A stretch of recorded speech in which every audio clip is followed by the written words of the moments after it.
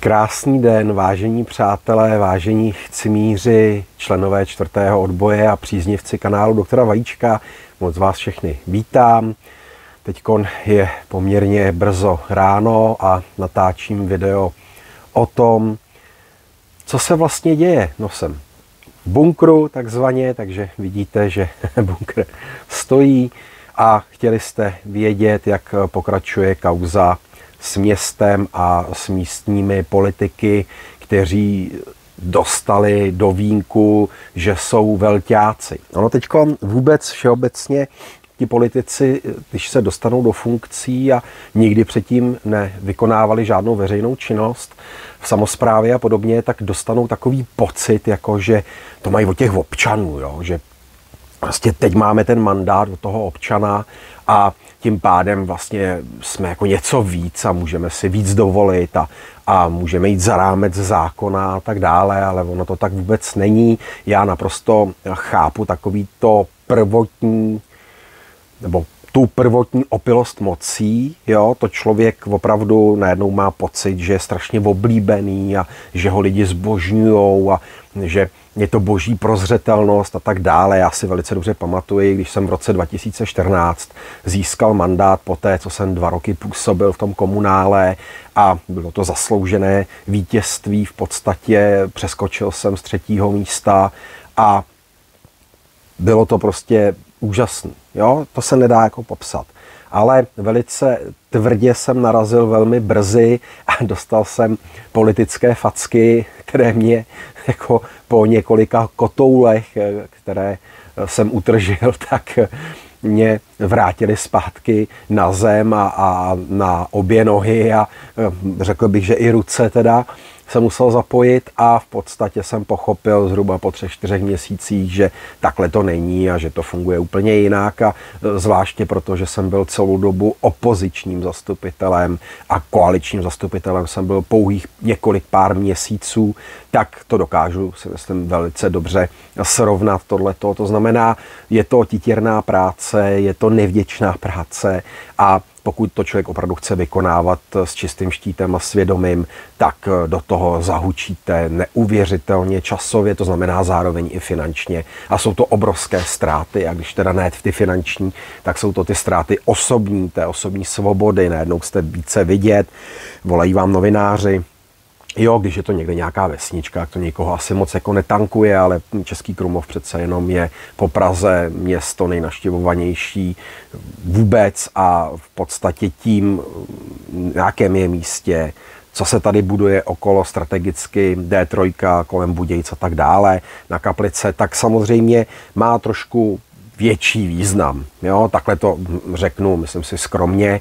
Takže být zastupitelem v Českém Krumlově je naprosto to samé, jako být zastupitel na Praze 1 nebo na Praze 2, což s tím mám opravdu jako osobní zkušenost. Takže když jsem někam přijel, tak říkali, že vy jste z Krumlova, to je nádherný a to. No a právě ti politici tady ty, co jsou tady teď, tak to je taková jako dělnicko-rolnická třída, kde skutečně eh, jsou lidé, kteří například si hrají na to, že mají diplom, který vůbec nemají. Já třeba vůbec nechápu, že to nezajímá novináře, protože tady to víří těmi komunitami různými a facebookovými hlavně skupinami, kde na to poukazují lidé a samozřejmě je spousta lidí, eh, kteří se jako táží, je tohle to normální, no není to normální, samozřejmě, že to není normální a není to v pořádku. A já teda musím říct, že poté, co jsem se vzdal prakticky všech veřejných eh, funkcí, včetně teda podle mě jedné z nejdůležitějších funkcí, a to je jednatel městské společnosti Českokrumlovský rozvojový fond, tak eh, mám uvolněné ruce a, a jsem za to moc rád, protože dokážu se na ty věci dívat eh, trošičku více s nadhledem.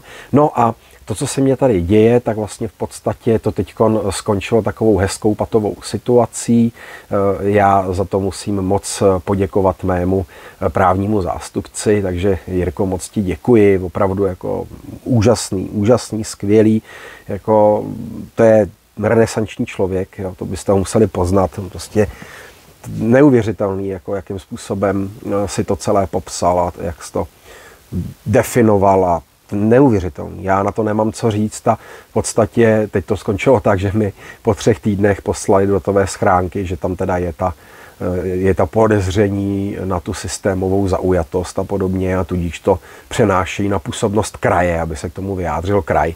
No tak tam to teď bude ležet samozřejmě několik měsíců, než se toho vůbec někdo všimne. Pokud to samozřejmě nebude Eh, pan eh, starosta moudrý to muž, nebude to posouvat. Jo? Takže pokud tohle samozřejmě eh, tam zaintervenuje nějakým způsobem, no tak už to bude věc, do které se potom vložím úplně natvrdo, protože mě tady vlastně úplně dizlokovali, naprosto mě tady zatarasili, dali nám tady ty sloupky, že sem nemůže přijet integrovaný záchranný systém a já jako člověk invalidní, tak to je velký problém, že když tady ochrnu, což se mi může stát klidně teď i během vysílání, tak eh, když třeba vidíte, jako jak jsem třeba neklidný nebo mám neklidnou nohu a tak dále, tak to je ten důvod toho protahování, protože já necítím to čití. Jo? Takže to vůbec jako není nic příjemného, nikomu bych to nepřál. A já když se sem potom jako nebudu moc dostat, nebo se sem nebude moc dostat záchranka, tak co jako budou dělat? To jsem jako poletí vrtulník pro mě, nebo jak to jako hodlají udělat to samé staří lidé, co tady mají zahrádky a tak dále.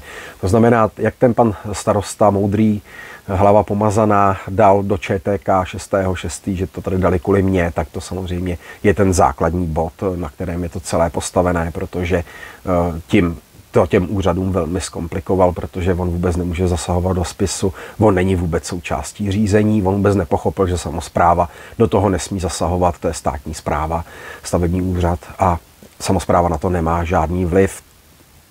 Bylo tam takové světýlko na konci tunelu už vlastně hned na začátku, kdy se do toho nevložil jeden z úřadů. Já ho nebudu jmenovat. On má přenesenou působnost, on funguje v jedné kanceláři jako stát a v druhé jako město. A e, ta paní inženýrka se vůbec ničeho neúčastnila. A tam jsem pochopil, že vzhledem tomu, že to je zkušená žena, která na tom místě je přes 20 let, tak mě bylo naprosto jasné, že se tím nechce špinit, protože věděla od samého začátku, že to bude, že to bude průserové a je to, je to průserové.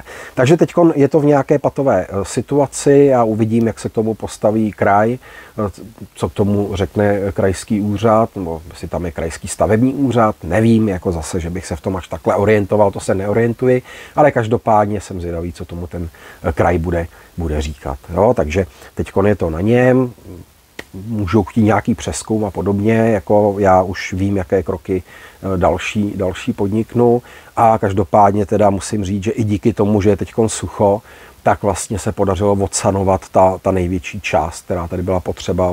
Podařilo se tam udělat, udělat tu zeď a tak. A, a v podstatě ochránit mě a mého syna, mojí manželku od případě dalšího nějakého tady zabalení, protože tady se skutečně utrhly skoro tři kubíky naraz a a bylo to neuvěřitelné, když eh, jsem měl ty fotky a, a posílal mi to kamarád, co mi tady s tím pomáhal, tak jsem si říkal, tyva, to není vůbec možný. Jo. Takže, takže vlastně zavalilo to chatu úplně celou, ta se musela zdemolovat a tak. Jako velmi, velmi nepříjemný, musím říct. Jako nepřál bych to nikomu a, a teď v podstatě mm, se drží takový nějaký klidový, klidový režim a, a dodělají se ještě nějaké věci, co jsou potřeba. Já doufám, že to bude mít nějaký jako zdárný konec a, a, a tak. Jo. Takže teď na stole jsou vlastně varianty, řekněme třeba, nevím, nějaké pokuty, dobře, no tak jako se nedá nic dělat, tak s tím už se bude dát nějak jako fungovat, jo, nebo jestli si to opravdu veme na starosti kraj a bude to tady chtít jako zkoumat, tak, tak má teda město gigantický průser, protože 19.6. najednou se objevila změna na katastru, a já teda nevím, jestli jsou to odpady nebo ne, nebo co to teda je, teda, to ať mi teda někdo vysvětlí, protože podle všech plánků jsou to odpady zhruba pětiny města. Pětiny města, tady se bavíme víc než 500 rodin. Jo. A domácností bytových jednotek a tak dále. A, a jako jejich, jejich hovínka a, a čuránky jako tady vidím, jo. Takže, takže to asi tak jako bude. No a e, dopátrali jsme se teda k tomu, že něco je z roku 1937, něco je z roku 1947 nebo 46 a teď se jako uvidí, co tady jako bude dál, ale toho 19.6. tam najednou zmizelo to věcné břemeno, přátelé. A to je jako, jestli se opravdu, a to teď spekuluju, jo, aby mě někdo nebral za slovo, ale jestli teda opravdu ta samozpráva se takovým způsobem do toho vložila, tak jsem jediný člověk na světě, který vlastní důležitou strategickou infrastrukturu, protože tady je ten brownfield, jak jsem vám říkal, těch 22 hektarů. Tam se teď mohutně kácelo, troufám si tvrdit, že proti zákoně, ale to je můj názor, ten mi nemůže nikdo brát. A já jsem teď zvědavý, jak se teda k tomu chtějí jako postavit, jo? protože tam nepostavíte nic, tam nepostaví cihlu. V tu chvíli, kdy sem přijde někdo z kraje a uvidí to, a uvidí ty plánky a uvidí ten projekt, který v roce 2015 byl vložen na ten katastr, bylo to za nějakých asi 96 milionů, těch 134 metrů toho odpadu a, a, to, a to přemostění a všechny ty věci, co jsou tady potřeba udělat, tak jsem opravdu jako zvědavý, co s tím teda potom to město chce dělat, protože na to ty prachy samozřejmě nemají, že jo? ani náhodou na to ty peníze nemají. A žádný investor, žádný investor nebude stavět na Brownfieldu, jestliže nebude mít zajištěné odpady. Tam totiž došlo k tomu, že oni si jaksi nezjistili to, co jsem říkal už jako zastupitel od samého začátku, a to je to, že eh, ta kasárna, kde bylo 1360 lidí, tak eh, když šli dělat potřebu, tak velká část toho se stahla do toho koryta. Oni to vlastně zakopali do země, ten potok. Tam je normálně by byla pitná voda, jo? to teče skletě nádherná voda, bohužel teda takhle tak nádherná není. A e, díky tomu ty odpady ostatní to stíhaly. Ale ve chvíli, kdy zaprší a jsou tady ty přepady, tak vlastně ono se tady e, střetávají tři různé proudy. A já bohužel jsem přímo uprostřed toho. Jo? Takže nechci úplně říkat, že jsem uprostřed hoven, ale, ale vlastně to tak je. No, takže, takže tak, takže přátelé, jako zatím, zatím eh, to vypadá velice jako dobře a, a, a slibně, ale co se týče těch kůželů, tak vlastně oni je postavili za tři dny, že okolo mě, to řekl pan starosta do ČTK, že jsem já najíždím těžkou technikou. By mě teď zajímalo, že to budu chtít vyčistit od čevaku, tak jak sem ten čevak přijede s tím odsavačem hoven, to jako nevím a není je tady kudy jinudy, by se mohli zajet, takže tak. A, a vzhledem k tomu, že mi to teda od 19.6. asi patří, tady to všechno, tak to bude ještě jako zábava tady. No, takže já když půjdu teď zákonu normou, to znamená půjdu formou soudů a všeho, tak to bude trvat tak 3-4 roky, než se to rozhodne, takže to, co oni udělali za tři dny a, a, a udělali to nezákonně, tak já musím mít zákonně a bude to trvat tak tři roky, jo, než se to odstraní. Tak to je docela jako vtipný. No takhle tady bojuju, přátelé. Takže já vám děkuji všem za podporu, protože to je hrozně důležitý. A psychická podpora je velice důležitá a mě to nabíjí, já nepřestanu. Já samozřejmě vím, proč to dělají, že jo? Tady vůbec nejde o nějakou bezvýznamnou zahradu a tohle, to, to, to vůbec, takhle naivní nejsem. Tady prostě jde o to zničit Vojtěcha Němce, který jak psali ty anonymy na ty fakulty, tak točí proti státní videa, a je potřeba ho zlikvidovat, protože najednou má moc jako velkou popularitu asi. Jo, tak já to takhle vidím. A pak je v tom samozřejmě jedna další veliká věc a to je závist. No, tak jako závist je všude na světě, přátelé, neříkejme si, že je jenom v Čechách. Na Moravě a ve Slesku to není pravda.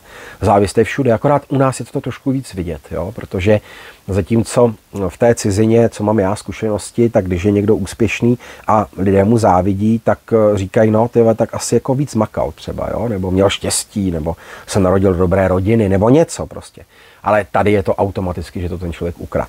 Jo. A to je problém, to si myslím, že je problém té společnosti, to je v nás trošku zakořeněný a to jen tak jako pryč nepůjde. Takže to se snoubí a potom jsou z toho tyhle ty potíže samozřejmě, ale jako jak říkám, já jsem obrněný prakticky z roší kůží, to mě naučila komunální politika a i, i to přičuchnutí si k té větší politice rádoby a já musím říct, že mě tohle to nemůže jako nějak dostat, jako ani, ani, se tím nějak jako netrápím nebo něco, ale spíš to otravuje život, takhle to řeknu. Jo. Takže zase čekám, kdy na mě zase napíše někdo nějaký pamflet a tak. No. Já jsem shodou okolností včera potkal toho člověka, co napsal ten dopis a na mě, na, ten, na, ten, na ty úřady a, a všude a, a ještě jako má tu drzost mě zdravit, no tak to je plně neuvěřitelný.